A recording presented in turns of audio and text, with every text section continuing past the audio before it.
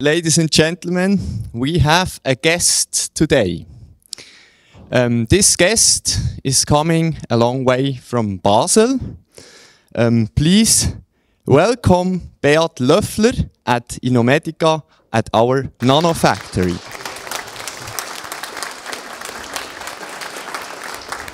Dear Stefan, when we met first 2015, I was immediately convinced this man must be really a great man.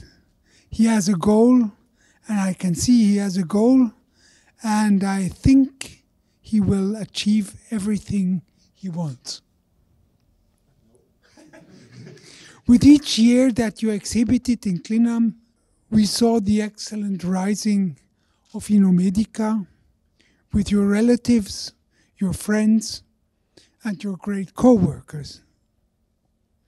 Today, you have achieved with Innomedica that you are in the market with a product to benefit of the patients. The Clinam Foundation honors you today with the Clinam Dwarf.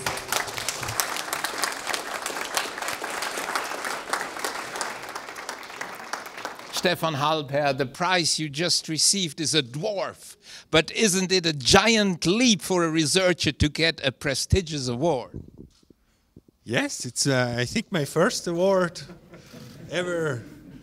And I didn't know this is supposed to be my session where I know stuff. Um, yeah, but uh, you're really surprised. Yes, very big surprise. Thank you very much. You're still aiming at the giant step uh, with a breakthrough uh, in uh, oncological therapy. How close is this breakthrough uh, on the market field? I think uh, it's as close as uh, some patients can get it if they want it, and also leading oncologists are getting the idea behind the product. They're excited about it, and uh, certainly we, we need, uh, as researchers, always more studies and more studies, and we'll do more studies. but uh, I think evidence so far is uh, compelling, and uh, well, yeah, we will go forward. Uh, Dr. Löffler, did Stefan and his team have frightening competition, or was it a clear decision from the start that they would get this year's award? We just discussed it 10 minutes and then it was over. a clear winner. Yes.